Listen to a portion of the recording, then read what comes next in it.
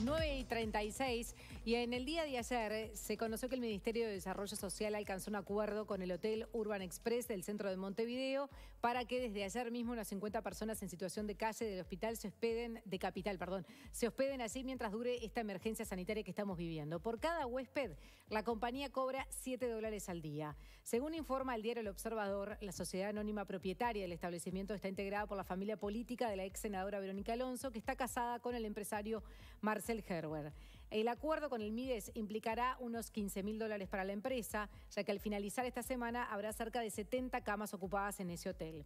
El observador consultó a los jerarcas de la cartera implicados en el proyecto y todos aseguraron desconocer el vínculo entre el hotel y la ex senadora nacionalista. Incluso negó tener conocimiento el actual director de la división de programas en situación de calle, Gabriel Cuña, quien fue jefe de campaña de Alonso en las elecciones de 2014 y también había sido tesorero de su sector Esperanza Nacional en 2008. Y que ayer desde el ministerio se dijo que no había tenido que ver en la definición.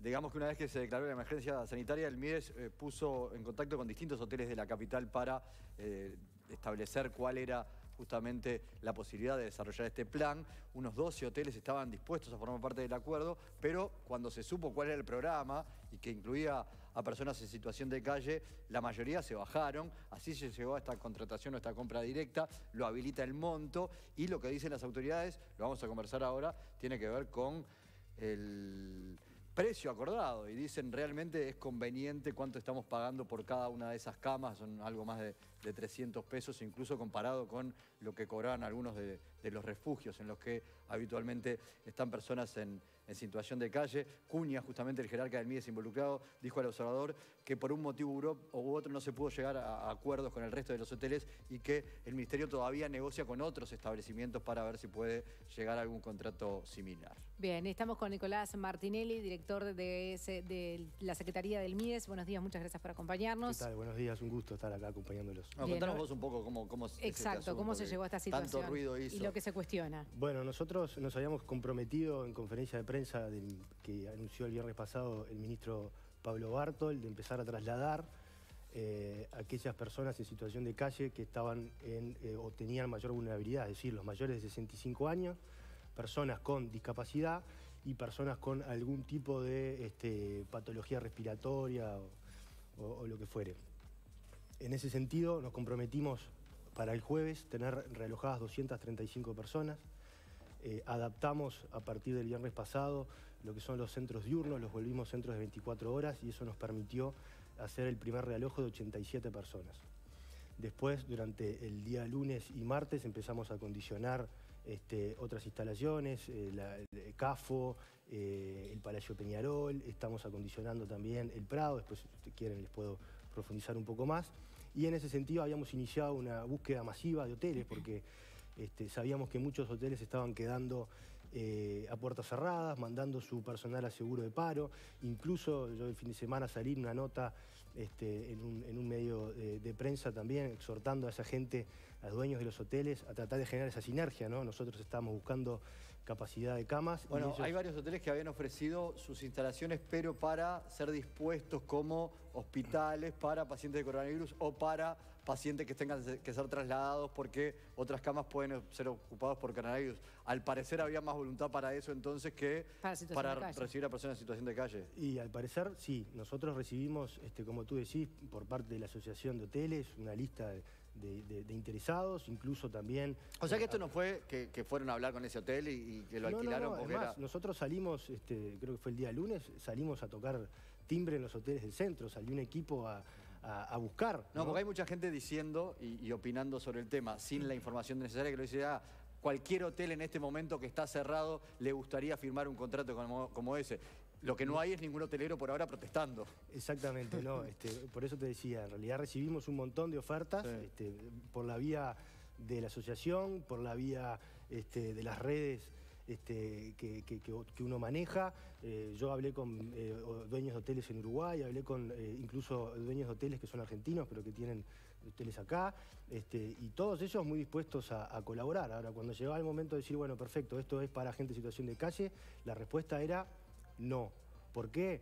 porque el día de mañana ese hotel me va a quedar a mí este, asociado a gente en situación de calle y me puede perjudicar desde el punto de vista comercial. No porque gente que de repente son contextos complicados y entonces me van a dejar el hotel al final del periodo en un estado bastante este, calamitoso que voy a tener que invertir mucho dinero para poder volver a dejarlo en condiciones. Entonces, tenías 15 ofertas, las 15 ofertas se te cayeron de un día para el otro. Entonces, ahora ahora está este hotel y cuál más entonces. En este momento está solo este hotel y tenemos la posibilidad de eh, quizás un hotel más, dos hoteles más. Hay uno que lo fueron a ver ayer, todavía no tuve respuesta en qué condiciones estaba. También es cierto que hay muchos hoteles que están en condiciones muy malas, ¿no? que de repente están abandonados, hace mucho tiempo que no, no se usan y que ponerlo este, a funcionar tarda no semanas, meses. Este, el que tenemos ahora en cartera precisamente es uno que está relativamente bien, hace ocho meses que no funciona y hay que ver el tiempo, los días o las semanas que nos puede llevar ponerlo de vuelta en funcionamiento. Este, fuera de eso... Tanto en ese hotel como recién hablabas, CAFO, el Palacio Peñarol, en la Rural del Prado, van a recibir todas las comidas, eso eh, corre por cuenta del MIDES. Exactamente, sí, correctamente. Las cuatro comidas están incluidas este, y las da el Ministerio. ¿Cómo están haciendo para obtener recursos más en esta circunstancia para esto en, un ministerio que por lo menos hasta, hasta el 29 de febrero parecía no tener más paño para dar? Bueno, hay, hay algunos recursos del Ministerio, pocos, porque obviamente ya el presupuesto ese está comprometido. Hay programas que de repente no se van a ejecutar en su totalidad y estamos viendo de ahí de mover algunas cosas para colaborar en esta situación del coronavirus. Y después está el refuerzo que se anunció en conferencia de prensa el viernes pasado de mil millones de pesos este, que viene del Ministerio de Economía. Ese refuerzo se va a utilizar para las tarjetas Uruguay Social, para la canasta de alimentos y eh, para el tema de la compra de eh, containers y módulos para personas en situación de Son unos 20, 25 millones de dólares, ¿no? Esos mil millones de pesos. Eh, depende cómo tomes el tipo de cambio. Depende del tipo de cambio, pero sí, entre 20 y 21 millones de dólares. Ahí va. Cerramos en 20 por... Nicolás, en los últimos censos, hablando de la situación de la, gente que vive en la calle, más allá de las edades que ahora se está tomando en cuenta la población más vulnerable, que es la, la mayor de 65 años, se hablaba también de gente que no quiere vivir en otros lugares, que no quiere ir a refugio, algunos con temas de adicciones o psiquiátricos, eh, problemas psiquiátricos, o también aquellos que no quieren dejar a sus perros y viven con sus perros. ¿Cómo están manejando estas situaciones? Bien, a ver, el equipo de calle sigue saliendo con total normalidad, tratando de convencer a esta población de los riesgos de estar en la calle, de los riesgos del coronavirus mucha de esta gente no maneja la información, incluso en algunos casos capaz que ni saben lo que está pasando, porque están aislados, porque no tienen acceso a los medios de comunicación. Entonces el equipo de calle lo que trata es de concientizarlos, también en los refugios, donde están hoy, se trabaja con ellos, se trabajó previamente con esta población más vulnerable para contarles por qué se iban a ir a otro lugar y qué era mejor para ellos. Eh, la realidad es que la gente que hoy está en calle y no se quiere ir, el instrumento que estamos manejando es una ley aprobada en el año 2011, el gobierno de Mujica, que permite, es un artículo único, que permite eh, llevar a la gente en forma compulsiva, o sea, no voluntaria, en determinadas circunstancias, cuando hay un riesgo de salud o un peligro de muerte. Tiene que haber un médico, hay un equipo, se tiene que conformar un equipo, tiene que haber un médico y ese médico certificar de que esa persona está en riesgo este, y en ese caso uno lo puede trasladar eh, en forma eh, no, voluntaria. ¿Y eso está pasando hoy? esa ley no está reglamentada, si bien no está reglamentada, se aplicó en, muy poquitas oportunidades en, el periodo pasado. Nosotros estamos trabajando ahora con el Ministerio de Interior para reglamentarla. El otro problema, que seguramente... No se está aplicando ahora, digo, porque en este momento, en el gobierno de Mujica, el gobierno pasado se había dejado En este momento no se está aplicando, pero lo estamos viendo como una alternativa ah, eh, muy válida y muy posible en, los próximos, las próximas semanas. No, porque eh, ahora en los mayores de 65 años el riesgo para la salud es mucho más evidente, ¿no? Me parece que un médico lo podrá constatar de manera mucho más sencilla. Más allá de que estar en la calle para una persona de esa edad siempre es peligroso, ahora hay un elemento que lo hace persona Por supuesto que la, emergencia sanitaria este, pone en situación de riesgo a toda la población, o sea que ya quedaría, mm, esa ley este, sería súper abarcativa para poder hoy empezar a trasladar gente este, a los diferentes refugios. Después tenemos el otro tema, que es la capacidad nosotros, eh, tú hablabas hoy, de, nosotros tenemos 2.500 personas en situación de calle según el censo de hace un año atrás. Es posible mm. que haya aumentado este, un poco más desde un año a la fecha. Y tenemos solamente de la administración anterior mil camas dispersadas en, los diferentes refugios. Es decir, que no solo tenemos que realojar para... Mil camas en total, mil camas en total. todas las otras... Mil camas dentro de lo que dispone el, ah, ministerio. El, ministerio. O sea que nos están quedando unas 1.500 personas por fuera del sistema de, refugios y del sistema de, hoteles y del sistema de camas. Y ahora, ¿cómo están resolviendo el tema? Decíamos, bueno, aquellos que sí quieren ir, pero necesitan atención médica o atención psiquiátrica, eh, también eh, el tema de la limpieza del lugar. En el caso de los hoteles, por ejemplo, eh, van a seguir los mismos trabajadores que estaban antes y cómo es en lugares más grandes, como va, por ejemplo, el Palacio Peñarol. Ayer veíamos imágenes de Telemundo de cómo se estaba acondicionando. ¿Cómo va a ser el tema de limpieza allí? En el caso de los hoteles, trabaja el personal de limpieza del hotel. Y después todo lo que es cuidados y todo lo que es vigilancia corre por cuenta nuestra. Ahí también trabajamos a través de organizaciones sociales que son los que nos proveen del personal necesario y suficiente para poder mantener el lugar en forma adecuada. Bien, eso en todos los lugares. En todos los lugares. Y el Palacio Peñarol, una de las preguntas eh, que todos nos hacíamos ayer cuando veíamos la imagen de ese lugar tan grande, cuando empiezan los fríos, ¿cómo se va a calefaccionar? Me hicieron la misma pregunta el otro día en un grupo de WhatsApp. Y bueno, trataremos de buscar las, alternativas necesarias para poder calefaccionarlo. La verdad que yo no sé si hoy el, Palacio cuenta este, con eh, aires acondicionados o con sistemas de calefacción. Llegado el caso de que no, este, bueno, habrá que buscar la alternativa para poder. No, ya te digo que no. ¿No? Bueno, tenemos nosotros un, sistema de canastas también que eh, se les da a las personas que han sido realojadas de asentamientos y que, bueno, de ahí puede surgir de repente la posibilidad de llevar estufas eh, a gas o, bueno, si hace falta comprar algún aire acondicionado, instalarlo. ¿Cómo es la situación en el interior? Están esos hongos, ¿no? Están los hongos también, exactamente. Eh, la situación en el interior del país. Bueno, en el interior del país, lo que tiene que ver con situación de calle está relativamente controlado porque ahí absorbe mucho la cada intendencia. O sea que hoy no ha sido un problema, por lo menos no, no, nos ha llegado a nosotros desde las intendencias este, una solicitud formal para colaborar en ese sentido. Lo que sí este, está pasando es eh, un montón de gente.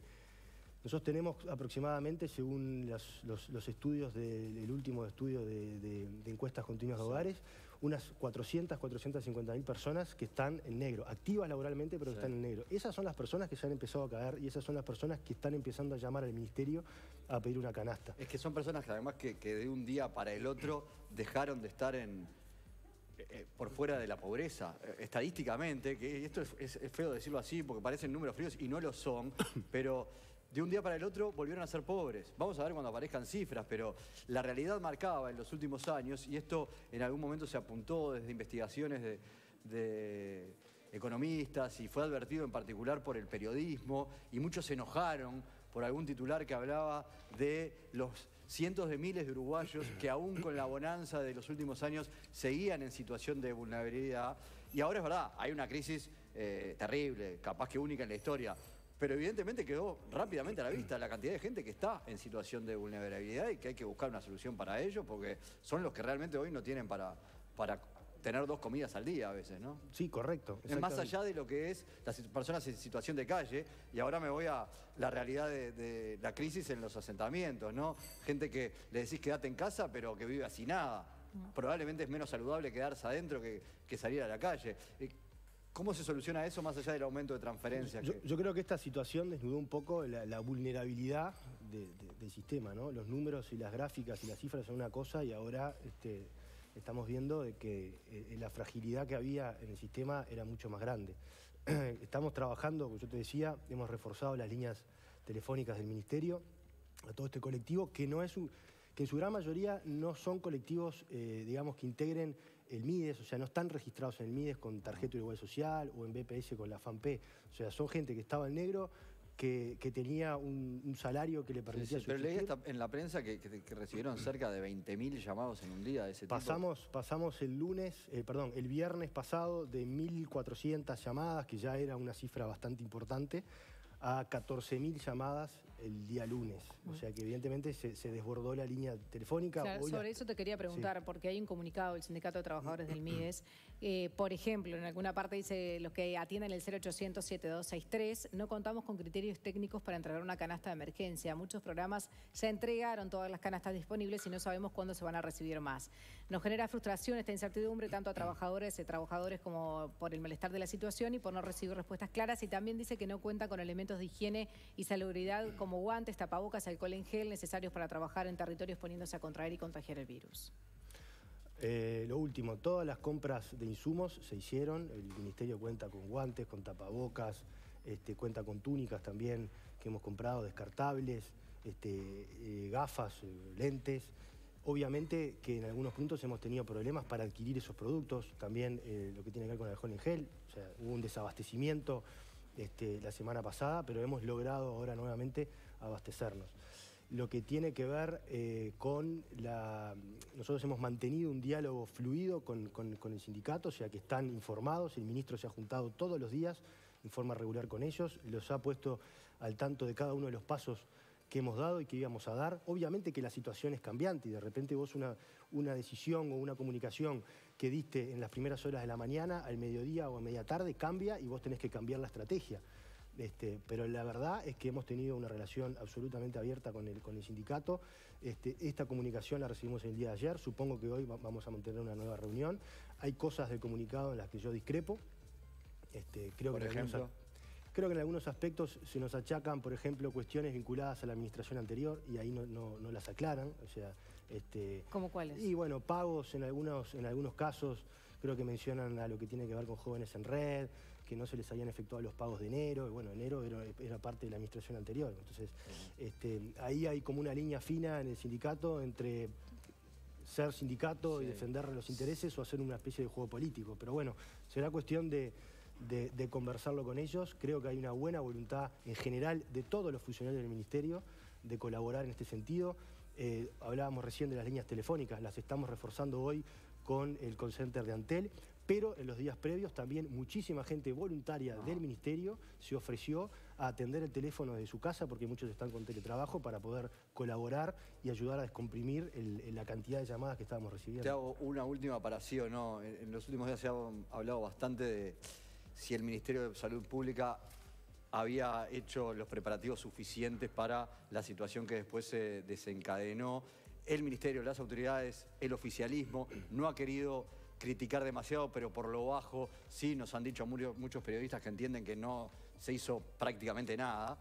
Y en, las últimas horas el, diputado César Vega, que es un diputado independiente de, la coalición de gobierno y del Frente Amplio, dijo, no, yo voy a pedirle al gobierno que me informe sobre qué había hecho el Ministerio de Salud Pública oficialmente hasta el 29 de febrero para ver qué responsabilidades puede haber ahí.